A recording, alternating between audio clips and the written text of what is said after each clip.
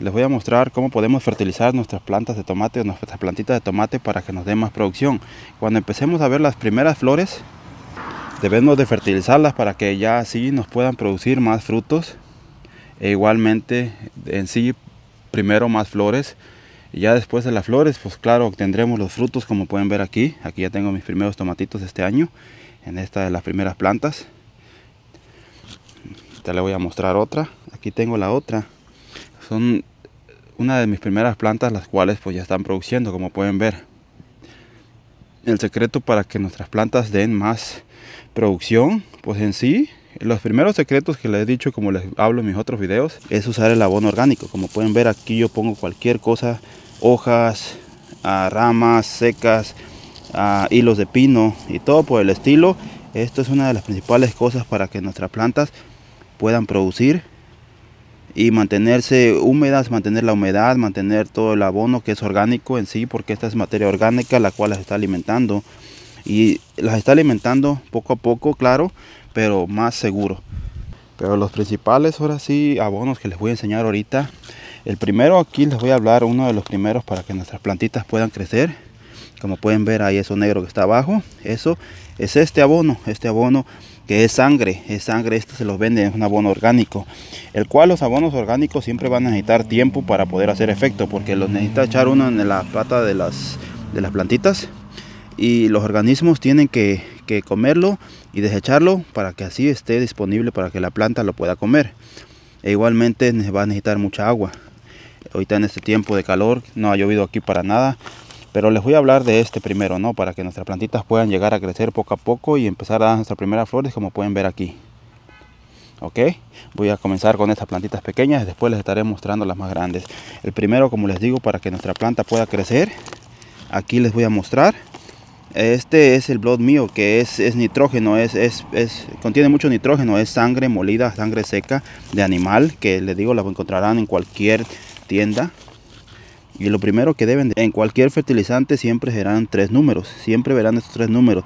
Estos números que significan el primero, que aquí pueden ver que es 1200, el primero siempre será nitrógeno, el segundo será el fósforo y el tercero será el potasio.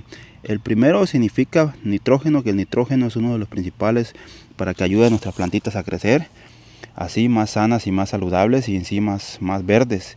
Este dará más, el nitrógeno siempre nos dará más más, más rapidez en, el crecimiento de nuestras plantas. Después en el segundo número tenemos aquí que es 00 y por eso está 00 porque principalmente la sangre lo primero y lo único que nos va a, a proveer será el nitrógeno. Aquí les tengo el otro, que este es hueso molido, hueso igualmente de animales, que lo van a encontrar donde sea, en cualquier tienda. Este es hueso, hueso de animal, claro. Y como pueden ver, igualmente tiene sus números. Déjenme les busco. Aquí están sus números, miren. Aquí en el primero igualmente tenemos 2% de nitrógeno, el 14 será el, más alto, porque les digo, ese es el fósforo. El fósforo lo que ayudará a nuestras plantas es a obtener más buena raíz, por eso sirve como para cebollas y cualquier tipo de, como rábanos y cosas por el estilo, siempre ayudará a que los rábanos crezcan mejor, porque esto el fósforo siempre lo que ayuda eh, a esa a dar buena raíz para que la planta esté fuerte y crezca mejor e igualmente ayudará principalmente a la floración de las plantas para que así nuestras plantas puedan producir una flor más bonita. Igualmente por si quieren fertilizarles principalmente cosas como las rosas o cosas, cualquier cosa que sea relacionada con las flores. Pero ahorita vamos a regresarnos a los tomates. Como pueden ver aquí las florecitas de tomates que les digo que están bien bonitas se me puede enfocar, pero pues así le digo. Y ya aquí como pueden ver, aquí están los primeros tomates.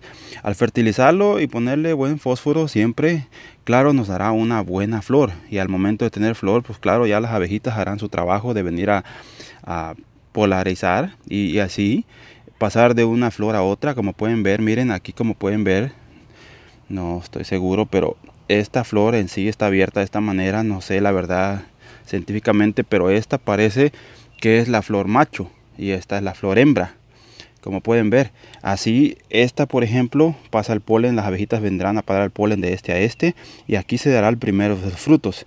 Igualmente no sé como todo, pero así es como funciona. Y la verdad, la mayoría, la verdad no sé, dependiendo del tipo de variedades de tomates, creo que las dos son, son se pueden ahora sí crear tomates.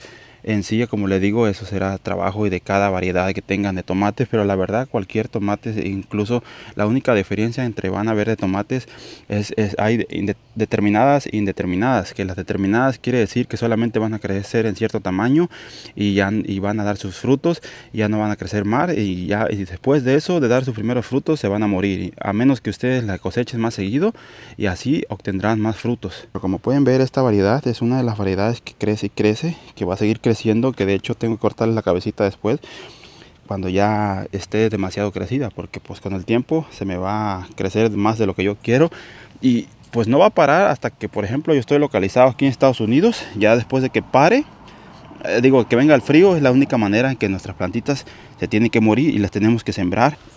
Las tenemos que sembrar año con año como pueden ver aquí. Esta es una de las matitas que como les muestro en mis videos, que esta incluso tengo aquí una matita de creo que no sé si es calabaza y esta otra matita que le digo que es una misma que corté, si, le, me, suscriben a mi canal ya que aprovechando, ahí checan mis videos completos, estaré trayendo más videos y trayéndole más material para ustedes, denle like ahí, comenten, denle un me gusta y compartan si es que quieren, así ayudarán a mi canal a que yo les pueda estar trayendo más contenido y más videos y, en sí compartir con ustedes y enseñarles y así a la vez yo también aprender más. Como les digo, esta plantita la, la propagué de una misma que podé, que si les digo checan ahí mis videos estarán viendo a qué me refiero. Aquí como pueden ver, ahí tengo otras matitas que aquí les digo año con año las tenemos que sembrar de las semillas, desde la germinación hasta cómo plantarla les estaré mostrando y les muestro ahí mis otros videos pasados y mucho más. Esta como pueden ver es una rama que corté esta mañana, está marchita, pero ya le puse su agua, ya tiene todo, o esta rama así como la ven va a revivir.